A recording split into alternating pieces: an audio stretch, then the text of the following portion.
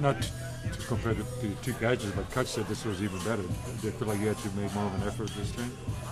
Um, I don't really know. Kutch is the real outfitter to be able to tell that, but uh, I mean, I came back and said I thought it might have been better, and somebody's like, I don't know, the one in New York was in the eighth inning and this and that, but they both good to me.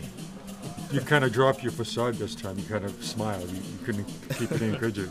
No, because after I threw it and I looked up, Kutch was standing right over me, and Kutch was like, like grinning ear to ear. So I, I couldn't like get up and try to play it cool.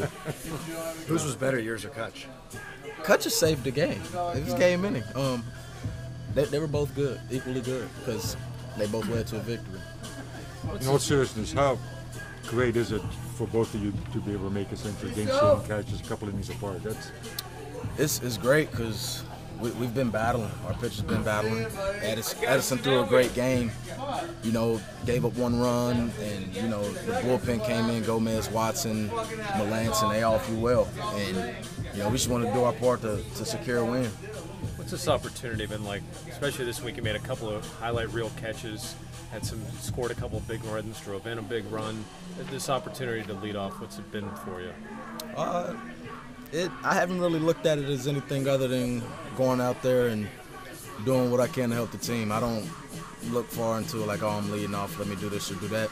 Just stay within myself and try to take advantage of any opportunity the game presents as far as, you know, defensive, offensive, base running, anything, you know, just to help the team.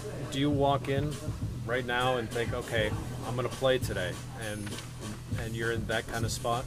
It, it definitely gives you a little different mindset because you know they, will tell me the night before like you know you're playing or you know come in you're playing. It's a different mindset than you know coming off the bench and possibly being used for a double switch at any time, pinch hit at any time, and being able to go about your day knowing that you're starting, it, it definitely gives you a, a little different mindset because you can prepare differently. Clint was asked about the energy you bring.